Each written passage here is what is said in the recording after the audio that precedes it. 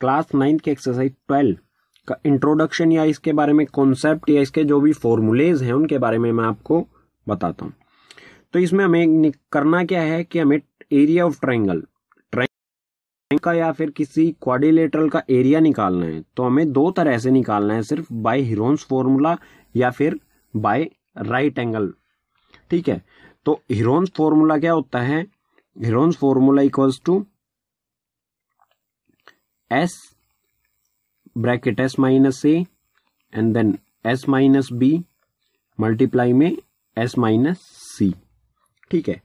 जहाँ पर A B C जो है, ये सभी sides of triangle sides of triangle होती हैं। और एस जो हमारा होता है एस जो होता है S equals to A plus B plus C by two सभी साइड्स का प्लस को टू से डिवाइड कर दिया जाए, या फिर हम कह सकते हैं पेरीमीटर बाय टू पेरीमीटर को अगर हम हाफ़ कर देंगे तो वो एस की वैल्यू हमें देगा. ठीक है? S equals to half of perimeter ठीक है? जब हमें कोई राइट एंगल दे रखा हो, ठीक है? जैसे इस इरोन्स फॉर्मूला के लिए अगर हम ट्राइंगल बनाएँ तो कुछ इस तरह का बना सकते हैं।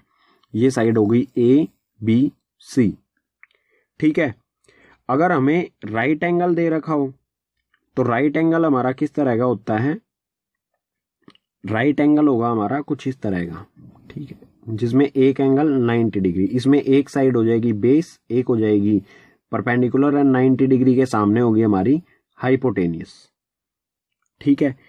अगर हमें कोई भी दो साइड गिवन है, मान लेते हैं हमें बेस गिवन है थ्री परपेंडिकुलर गिवन फोर तो हमें हाइपोटेनियस अगर हमें दो साइड भी पता है तो भी हम इसका एरिया निकाल सकते हैं और थर्ड साइड भी हम इसकी निकाल सकते हैं। ठीक है? तो बेस कैसे निकाल लेंगे सॉरी हाइपोटेनियस कैसे निकाल लेंगे? By Pythagoras theorem Pythagoras theorem क्या कहती है? हाइपोटेनियस का स्क्वायर इक्वल्स टू बेस का स्क्वायर प्लस में परपेंडिकुलर का स्क्वायर। तो हाइपोटेनियस का स्क्वायर हमें निकालना है यहाँ से तो बेस कितना है हमारा? थ्री देन थ्री का स्क्वायर और परपेंडिकुलर है फोर तो फोर का स्क्वायर। तो हाइपोटेनियस का स्क्वायर आ जाएगा, थ्री का स्क्वायर नाइन, प्लस में फोर का स्क्वायर सिक्सटीन। दोनों को प्लस करने पर आ जाएगा ट्वेंटी फाइव, और इधर आ जाएगा हाइपोटेनियस का स्क्वायर। लेकिन हमें निकालनी है सिर्फ़ हाइपोटेनियस तो दोनों तरफ़ रूट लगाएँगे हाइपोटेनियस आ जाएगी हमारी एच का स्क्वायर में से एक एच बाहर आएगा, इसी तरह फाइव मल्टीप्लाई में फाइव लिख सकते हैं हम ट्वेंटी फाइव को तो उसमें से आ जाएगा फाइव तो इस तरह से हम निकाल लेंगे पाइथागोरस थ्योरम अप्लाई करके थर्ड साइड किसी भी राइट एंगल ट्राइंगल की. ठीक है?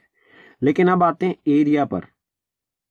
एरिया कैसे निकालेंगे? अगर हमें कोई राइट एंगल दे रखा है राइट एंगल ट्राइंगल दे रखा है तो राइट एंगल ट्राइंगल का एरिया होता है हाफ़ मल्टीप्लाई में बेस मल्टीप्लाई में परपेंडिकुलर हाइट। ठीक है? ये सिंपली हमें फॉर्मूला लगाना है। अब, अगर हमें कोई क्वाड्रिलेटरल गिवन है, उसका हम क्या कर, उसका एरिया कैसे निकाल लेंगे? मान लेते हैं हमें कोई क्वाड्रिलेटरल गिवन है कुछ इस तरह का। ठीक है? हमें कोई कोई भी साइड दे रखी है तो हम क्या करेंगे? इसमें एक डायगनल बना लेंगे। ठीक है? ठीक है? डायगनल बनाने के बाद मान लेते हैं हमें गिवन है ये वाला 90 डिग्री एंगल तो ये साइड और ये साइड और ये हो जाएगा इसकी हाइपोटेनियस ठीक है, इसकी चारों साइड हमें गिवन है और मिड जो डायगनल है उसकी लेंथ हमें निकालनी है. तो ये हो गया हाइपोटेनियस हाइपोटेनियस का स्क्वायर क्या होता है? बेस का स्क्वायर मल्टीप्लाई बेस का स्क्वायर प्लस में परपेंडिकुलर का स्क्वायर मतलब पाइथागोरस थ्योरम से हम ये निकाल लेंगे. एंड उसके बाद हमें ये साइड और ये साइड और ये साइड पता है? तो इसका एरिया निकाल लेंगे और इसका एरिया निकाल के दोनों को प्लस कर देंगे तो हमारा क्वाड्रिलेटरल का एरिया आ जाएगा। ठीक है? कॉन्सेप्ट में सिर्फ़ इतना ही है। हमें एस ए बी सी और ये वाला जो फॉर्मूला है, इनको हमें ध्यान रखना है। ठीक है?